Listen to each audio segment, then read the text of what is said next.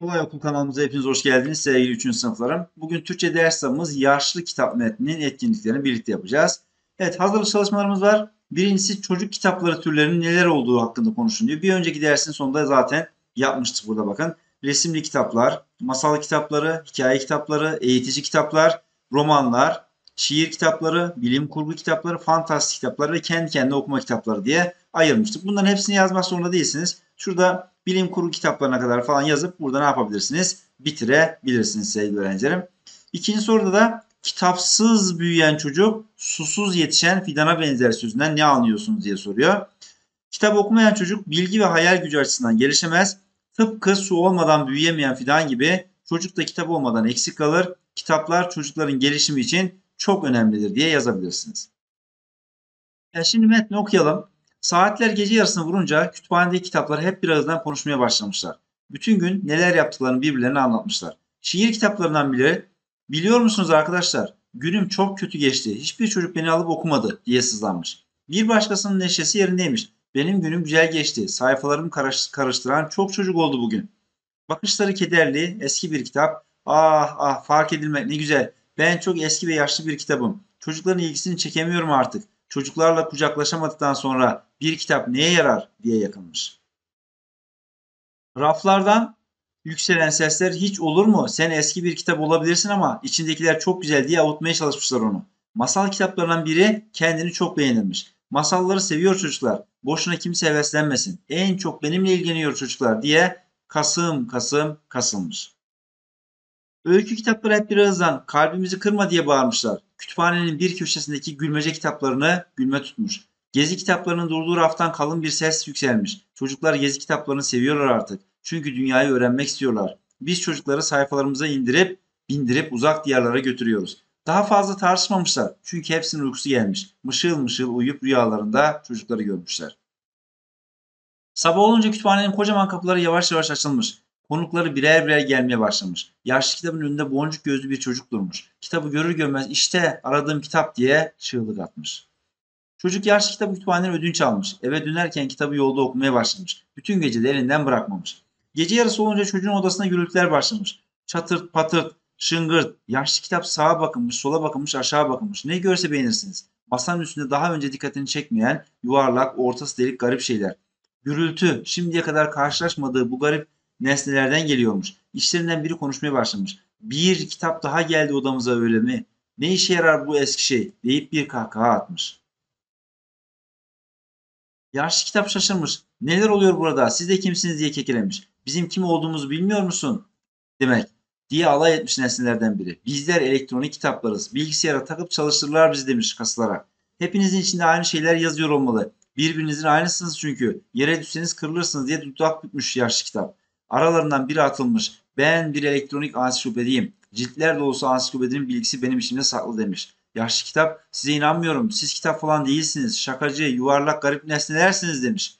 Ertesi gün boncuk gözlü çocuk okuldan döner dönmez bilgisayarını açmış. Ansiklopedi olduğunu söyleyen parlak cismi almış. Bilgisayarın içine koymuş. Yaşlı kitap onu dikkatle izliyormuş. Çocuk bilgisayara karga sözcüğünü yazmış. Bunu yazar yazmaz bilgisayarın ekranında pırr diye süzüle süzüle kargalar uçmaya başlamış. Keskin bir ses kargaları anlatmaya başlamış. Ses bilgisayardan geliyormuş. Demek dün gece bana anlattıkları doğruymuş diye düşünmüş. Yaşlı kitabın suratı asılmış da asılmış. O gece çocuk onunla hiç ilgilenmeyecek sanmış. Ama boncuk gözlü çocuk dişlerini fırçalayıp pijamasını giydikten sonra yatağına yatmış. Yaşlı kitabı eline alıp uykuya dalana dek onu okumuş.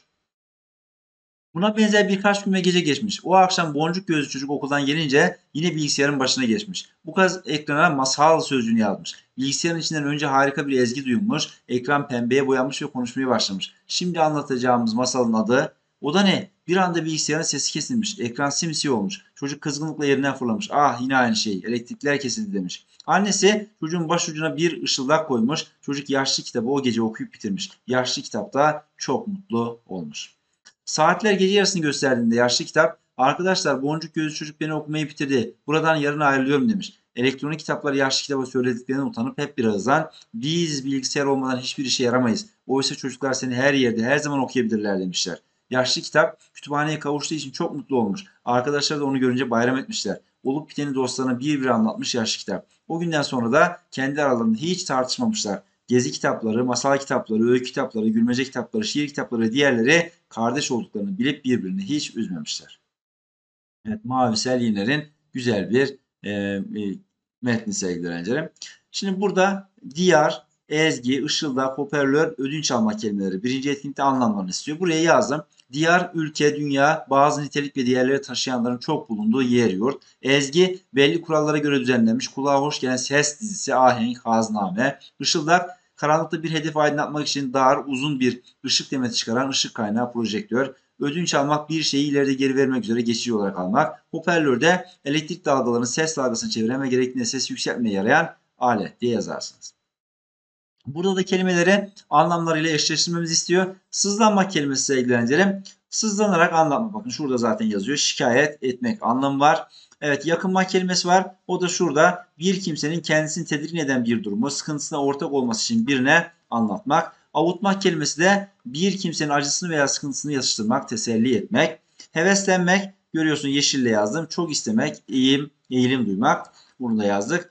Burada da kasılmak var. Kasılmak kelimesinde büyüklenmek, e, kurumlanmak, gururlanmak, tartışmak da sevgili öğrencilerim. Bir konu üzerinde birbirine ters olan görüş ve inançları karşılıklı savunmak. Evet, şimdi metinle ilgili sorulara geçiyoruz. Birincisi kütüphanedeki kitaplar ne zaman konuşmaya başladılar? Saatler gece yarısı vurunca konuşmaya başlıyorlar. Yaşlı kitap neler söyleyerek arkadaşlarına yakındı? Çok eski ve yaşlı olduğu için çocukların ilgisini çekemediğini söyledi. Çocuklarla kucaklaşamadıktan sonra bir kitabın işe yaramadığını belirtti. 3. Kütüphanedeki kitaplar birbiriyle niçin tartışırlar? Masal kitabı çocukların en çok onu sevdiğini söyleyip diğer kitapları küçümseyince tartışıyorlar. 4. Boncuk gözlü çocuk yaşlı kitabı görünce niçin çığlık? Aradığı kitabı bulduğu için heyecanlandı ve sevindi. 5. Çocuğun odasındaki elektronik kitapları yaşlı kitaba nasıl davrandılar? Onu alaya aldılar ve eski olduğu için işe yaramadığını söylediler. 6. Yaşlı kitap elektronik kitaplar anlattıklarına ne zaman inandı? Çocuk bilgisayarda elektronik kitabı kullandığında anlattıklarının doğru olduğunu gördü. 7. Çocuğun onu okuyup bitirdiği akşam yaşlı kitap neler yaşadı? Yaşlı kitap mutlulukla kütüphaneye geri döndü ve elektronik kitapları ondan özür diledi. 8. Yaşlı kitap kütüphaneye döndükten sonra ne oldu? Arkadaşlar onu görünce sevindiler. O günden sonra kitaplar arasında tartışma yaşamadı ve birbirlerine üzmediler yazabilirsiniz. Evet her zamanki gibi metnimizin konusunu ve ana fikrini istiyor. Konusu kütüphanedeki kitaplar ve bir çocuğun yaşlı bir kitapla yaşadığı macera. Ana fikirde her bir kitabın kendine özgü bir değeri vardır. Bakın ana fikirde her zaman söylüyorum verilmesi gereken bir mesaj veya ne olur sevgilendirim bir öğüt olur. Eski kitaplarda hala faydalı ve değerlidir. Evet metnimizin başlığı yaşlı kitap kadrosunda yaşlı kitap, boncuk gözlü çocuk, diğer kitaplar, elektronik kitaplar, olayın geçtiği mekan kütüphane ve çocuğun odası. Metindeki olay da kütüphanedeki kitapların gece yarısı konuşmaya başlaması ve masal kitabının kendini överek diğer kitapları küçümsemesiyle bir tartışma çıkması. Yaşlı kitap çocukların ilgisini çekemediği için üzülürken boncuk gözlü çocuk onu okumaya başlıyor. Çocuğun ilgisi yaşlı kitabı mutlu ediyor ve diğer kitaplara da bir ders oluyor. Evet metinlerden bir kesit verilmiş resimler bunları anlatın diyor. Bakın burada sevgili kitapların tartıştığı ve yaşlı kitabın üzüldüğü bölüm burada. Evet hatta masal kitabı, gezi kitabı beni çok seviyorlar demişti. Burada da bakın e, çocuktan sonra tekrar arkadaşların yanına geldiğinde mutlu oluyorlar. Bu resim yaşlı kitabın kütüphaneye döndükten sonra arkadaşlar tarafından sevinçle karşılandığı bölüm.